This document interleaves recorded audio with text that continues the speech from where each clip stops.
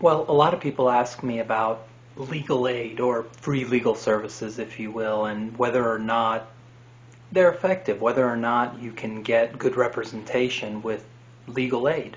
Uh, because you're not paying for it and you have somebody basically representing you for free. So, do the services equal services that you might get when you pay two, three hundred dollars an hour or some kind of flat rate?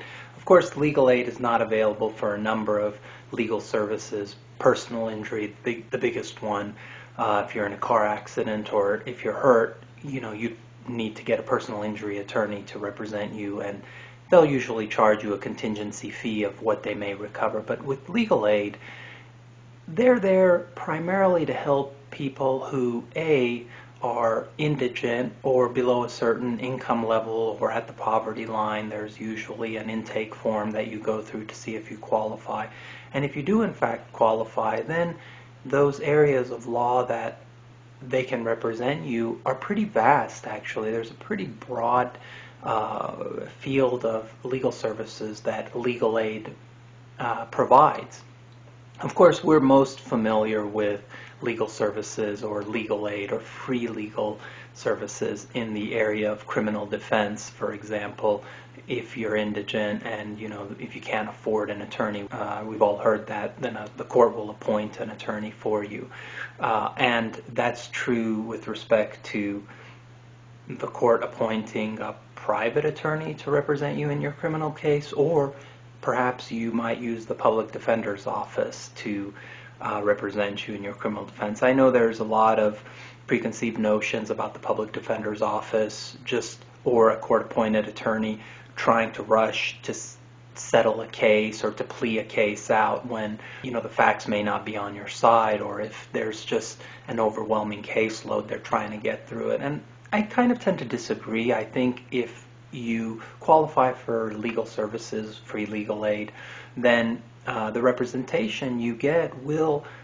be the same representation you would get if you were paying for those uh, legal services because attorneys have a fiduciary and ethical obligation to represent you as zealously whether you're paying or not paying and uh, there's a professional code of conduct that requires attorneys to provide that service. So uh, do I think there's a big difference between paying for legal services or getting free legal services if you qualify? Well, there shouldn't be at least.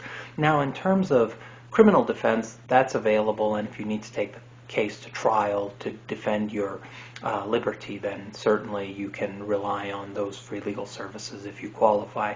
But a lot of people don't know that legal aid is also available for a number of other things in the civil realm in the family realm, you know, custody issues, for example, uh, divorce issues, employment issues, somebody's trying to deny you wages that you earned, tax issues if you owe taxes, uh, or the IRS is trying to wrongfully collect taxes from you. So foreclosure issues if your landlord is trying to evict you, you know, illegally, if you will there's a lot of areas of law that you may uh, qualify for le free legal services and you may uh, benefit from free legal services. So whenever I talk to a client who you know doesn't necessarily have the ability to pay, and if I can of course represent them pro bono, then certainly I will. But you know attorneys are limited with the amount of cases they can take, the amount of work they can take pro bono, um, and the, uh, the need to really generate revenue to cover their costs and their overhead. However, legal services and legal aid, they get government grants, they get donations, they're 501 uh, charitable organizations, so those donations are tax deductible for the people, for the donor, the people that give that money to legal services and legal aid. And so they have a vast network of attorneys and staff that can provide legal services to you. So Long story short, if you qualify for uh, legal aid or free legal services, I think you should take advantage of it.